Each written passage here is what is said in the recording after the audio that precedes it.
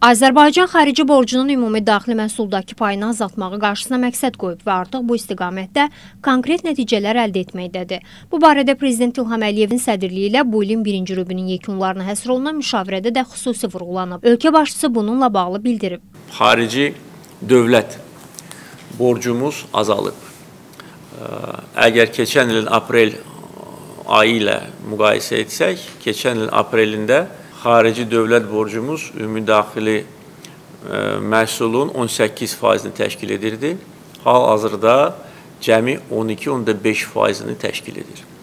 Yəni biz 1 il ərzində e, xarici borcu aradasa 600 milyon dollardan çox bir e, səviyyədə aşağı sala bilmişik. Bu da xarici borcun idarə edilməsinin strategiyasının icrası nəticəsində mümkün olmuşdur. Mən vaxtı ilə vəzifə qoymuşdum ki, biz kreditlərin alınmasına çox böyük ehtiyatla yanaşmalıyıq. Eyni zamanda e, dövlət şirkətləri, hansılar ki, vaxtı ilə heç kimdən soruşmadan öz başına müxtəlif kreditlər götürürdülər. Sonra da bu kreditləri qaytara bilməyəndə bu ödəniş dövlətin üzərinə düşürdü və eyni zamanda çox qeyri-şəffaf e, mənzərə müşahidə olunurdu. Buna da son qoyuldu. İndi heç bir dövlət qurumu hökumətin icazəsi olmadan 1 manat kredit götürə bilməz. Azərbaycan artıq bir neçə ildir ki, ardıcıl şəkildə xarici borcun ümumi daxili məhsuldakı payının azaldılmasına nail olur.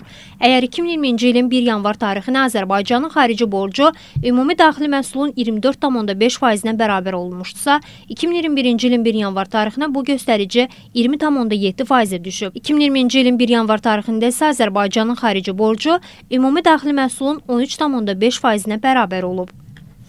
Uyğun olaraq həmin tarixlər ərzində xarici borcun miqdarı da azalıb. 2020-ci ilin 1 yanvar tarixinə 9 milyar 813,3 milyon Amerika Birləşmiş Ştatlar dollarına bərabər olan xarici borc 2021-ci ilin 1 yanvar tarixinə 8 milyar 821,5 milyon dollara enib. 2022-ci ilin 1 yanvar tarixində isə bu göstərici 7 milyard 393,4 milyon dollara düşüb. Göründüyü kimi ölkənin ümumi milli gəliri artdıqca xarici borcun toplam göstəricisi azalır. Bu, ölkə iqtisadiyyatının xarici borca xidmət üçün əlavə xərclərdən xilas edir. Prezident İlham Əliyev müşavirədəki çıxışında bildirib ki, xarici borclar ölkədə ümumi daxili məhsulun 10%-dən artıq olmamalıdır.